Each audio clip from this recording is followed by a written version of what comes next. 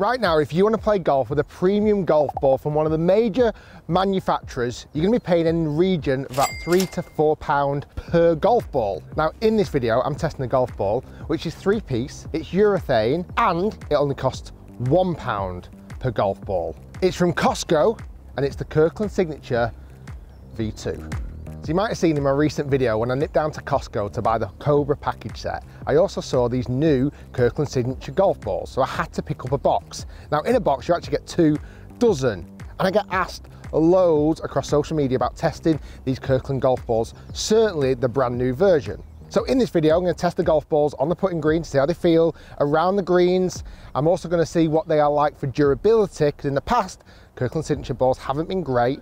I'm also going to test them on fuller shots and eventually the driver. And guess what? I've got a pair of new ball cutters. I'm going to cut some of them open, not just one. I'm going to cut a bunch of them open to see how consistent the core of the golf balls are. After all of that testing, we're going to find out whether this one pound golf ball from Costco is worth using over your Pro V1s, your TP5s, your more expensive golf balls.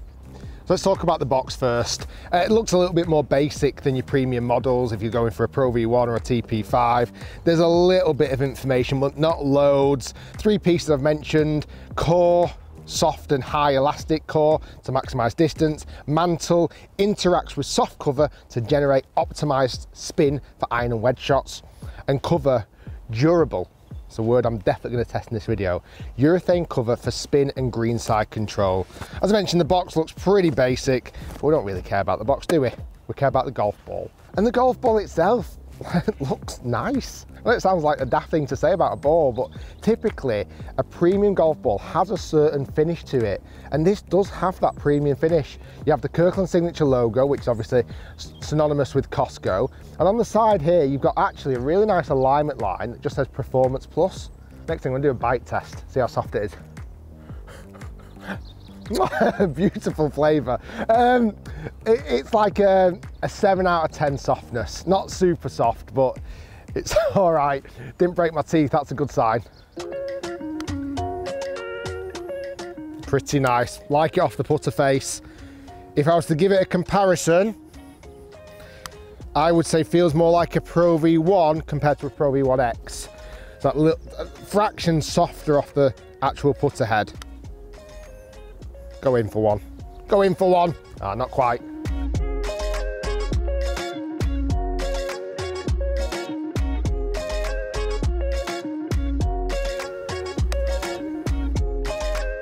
You know what? I could spend all day putting on the green with them and I wouldn't change my opinion on the feel. They feel really nice. Premium golf ball, urethane cover. On to the next test. Okay, next little test for this ball is some slightly longer chips and pitches. Just want to see how they react around the green and how they feel off the wedge as well.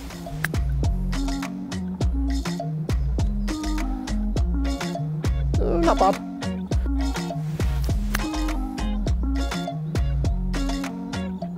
That one stopped quick.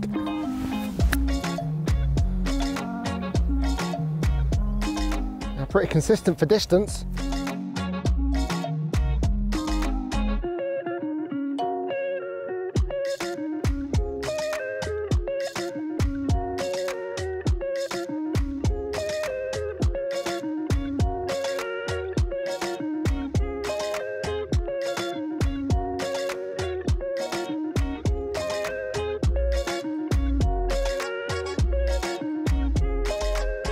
Okay, so far so good. I've got a checklist here, what I want from a golf ball. So far, it's great with the putter, feels fantastic. Around the green, spins well, again, feels good, tick, tick. However, we've got a few more tests. Next thing I'm gonna do is iron play, hit some shots into a par three, but the big test comes at these last two. Durability and distance. They're two that really worried me about this golf ball. Let's hit some shots into here. See how they fly, see how consistent they are, and see how close to a hole in one we can get. Oh, cut a bit.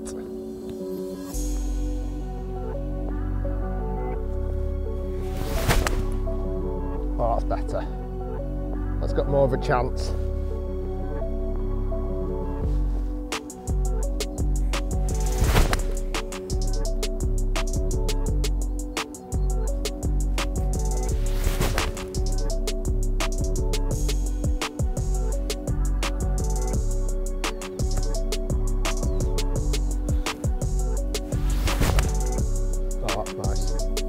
Aye, just tiny bit left. Um, felt good off the face, it did. Flight was good, spun nice into the green.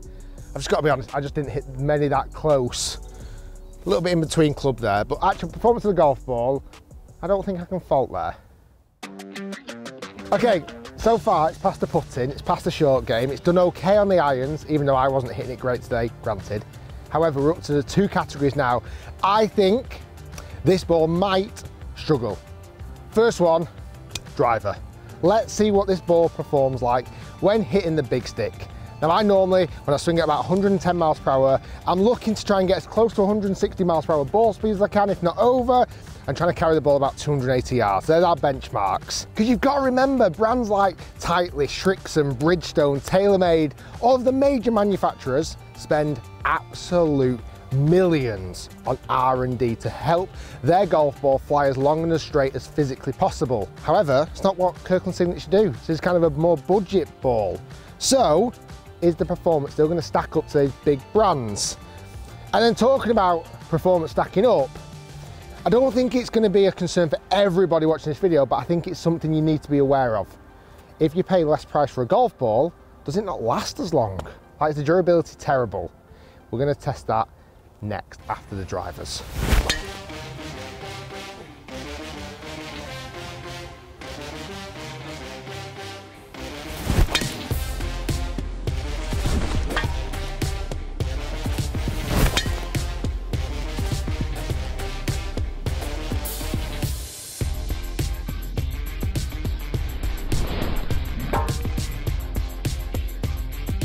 Okay, numbers with driver. Good, not record breaking. 278 carry on average, 156 miles per hour ball speed on average. Again, that's not record breaking, but it's decent. And I was averaging at 110 miles per hour club head speed. The one thing I did notice, the spin of the golf ball is quite low. With driver, it was quite consistently under 2000 RPM. So overall, good performance. Next up, the new choppers. They chop four in half. You might say, why chop four? One, I'm making up for the time I didn't chop that Mach 5 golf ball open, my bad. But also, I want to see what the consistency of the core looks like. Now, we have seen examples of even major golf ball brands not quite getting the core perfect every time. Example here. Now, why that would affect you as a golfer, if you've got a core that's off-centered, the ball flight may favor one side or the other, there'll be no consistency. Basically, the golf ball would not be performing at its highest level for you. So, with Kirkland Signatures, again, being a cheaper brand ball, did he cut some corners when it comes to actually centering the core of the golf ball? Let's find out. And this is a review of my new cutters. Very smooth, good action, quicker than normal. Okay, yellow, this is kind of the core, the blue section is the mantle. I'll have a closer inspection in a minute. Everything looks okay there. Let's cut a few more open and have a proper, proper look. Okay, so I've cut four golf balls in half. Now, I've looked really closely here. I've examined each and every one of the golf balls, and I've got to say, I see no imperfections. They all look pretty much perfect. So for me, I know it's only a small sample size, but that definitely passes quality control very nicely indeed. Okay, so I feel like I've tested these balls pretty well so far, but there's one left in the box. Absolute brand spanker, never been hit yet. Now what I'm gonna do, I'm gonna hit 10 shots with my lob wedge out of the bunker, and we're gonna see if there's damage, and if there is, how much damage. Now some of you watching might think, Rick, I'll lose the golf ball before I have an opportunity to scratch it. That's not really the point. You might just hit one a little bit thin out of a bunker and suddenly there's a big scratch in the face, or you might hit a cart path or a buggy path, and sometimes there's some real damage on the golf ball. It can affect performance, it really can. We want to do everything we can to not affect our ability to shoot good scores. So as I mentioned at the start of this video, you can spend a lot of money on golf balls, you really can. So the big brands like four quid a golf ball. But how has this Costco one pound golf ball fared today? As I mentioned, it's pretty much passed every category so far, it really has. 10 shots out of a bunker can often leave some real bad scratch marks in the golf ball. It's bloody brilliant. Like, it's done an unbelievable job. I've tested a few Kirkland signature balls so far, but none of them, until this point, has ticked every single category. Pretty impressive that.